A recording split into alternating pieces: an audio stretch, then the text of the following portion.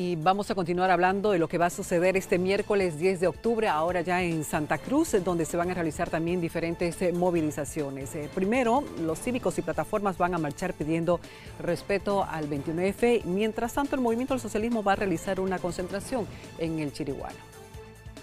A pocos días de celebrar los 36 años de la recuperación de la democracia, distintos sectores ya se alistan y ultiman detalles de las movilizaciones que se llevarán a cabo este 10 de octubre. Ese es el caso del Comité Pro Santa Cruz que junto con las plataformas preparan una marcha que partirá desde la Plaza del Estudiante hasta la 24 de septiembre. Es un partido confrontacional, no es un partido democrático, porque si hubiera democracia en el MAS, bueno, lo primero que tiene que hacer el presidente y vicepresidente es respetar la constitución política del Estado.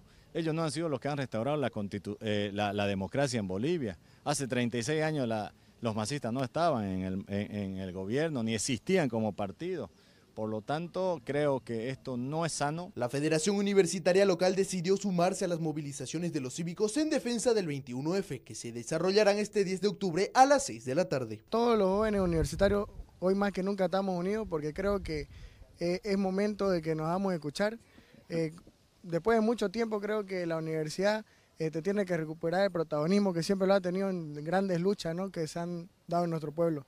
Entonces hoy convocamos a todos los compañeros estudiantes universitarios no solo de la Gabriel René Moreno, sino de, las diferentes universidades. De manera paralela, las organizaciones sociales afines al MAS también realizarán movilizaciones. El ejecutivo de la COD invitó a congregarse en el monumento al Chiriguano este miércoles a las 5 de la tarde. Desde ahí mandaremos también un mensaje y eh, obviamente una reafirmación de ese apoyo eh, contundente hacia nuestro presidente Evo para que siga gobernando nuestro país, para que pueda ah, seguir siendo nuestro candidato el 2019 y podamos cumplir con una Agenda 2025 que en realidad es una continuidad de estos 12 años que, eh, que los bolivianos hemos tenido estabilidad, somos el país que eh, tenemos el mayor crecimiento de la economía de, de todas las regiones. Las juventudes del MAS también apoyarán la concentración indicando que esperan la asistencia de un millón de personas. El día miércoles 10 de octubre se recuerda ese año, esos años donde la clase obrera, indígena, campesina,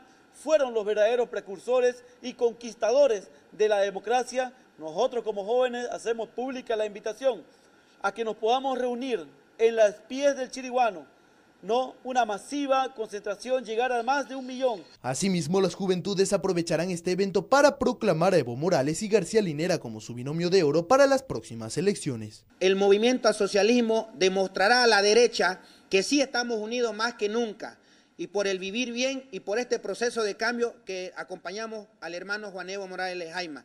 Vamos a proclamar nuestro presidente Evo Morales Jaima y Álvaro García Linera como candidatos de oro a las elecciones primarias del 2019. Ambos bandos organizadores de las diferentes movilizaciones aseguraron que serán eventos sin ánimo alguno de confrontación.